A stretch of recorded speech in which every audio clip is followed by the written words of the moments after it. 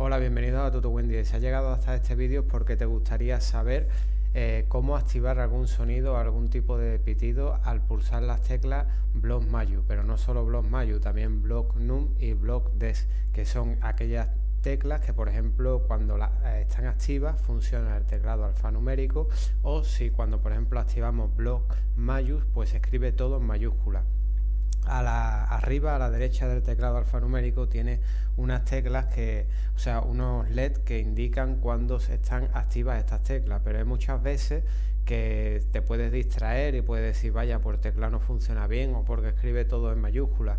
Para esto estaría bien que el ordenador, pues cada vez que tuviéramos activas esas teclas, nos lo dijera con un pitido, una especie de sonido. Bueno, pues en la descripción de este vídeo te voy a dejar un enlace hacia mi página web donde os lo explico todo paso a paso, pero también vamos a resolver esta incidencia eh, con este vídeo, ¿vale? Para empezar, lo primero que tenemos que hacer es entrar en configuración de Windows. Esto se hace con un atajo rápido de teclado. Aquí arriba a la derecha os dejaré un vídeo interesante donde podréis descubrir los distintos atajos de teclado rápido para Windows 10. Bueno, volviendo al tema, básicamente sería pulsar la combinación de dos teclas, la tecla Windows más la tecla I. Si lo hemos hecho correctamente veremos una pantalla como esta ¿Vale? Bueno, pues ahora lo único que tendremos que hacer es entrar en donde dice accesibilidad. Una vez que estemos dentro de accesibilidad, vamos a la opción que dice teclado. Entramos dentro y aquí vemos usar teclas de alternancia. Por defecto estará aquí desactivado.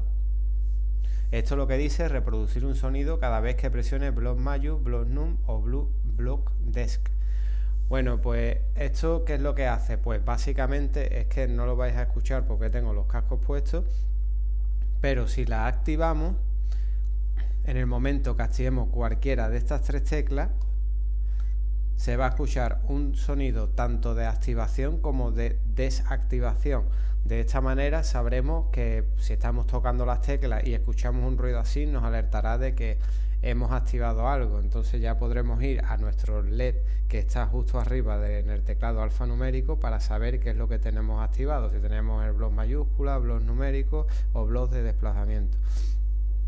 Bueno, también podemos tener desactivado esto y tener activada la casilla que dice permitir que la tecla de método abreviado inicie las teclas de alternancia. Esto lo que quiere decir que tal y como está esto configurado, si pulsamos eh, durante al menos 5 segundos la tecla block eh, numérico, lo dejamos pulsado 5 segundos, pues a los 5 segundos se tendrá que, que, activar la casilla, ¿vale? Y entonces pues ya otra vez volverá a sonar.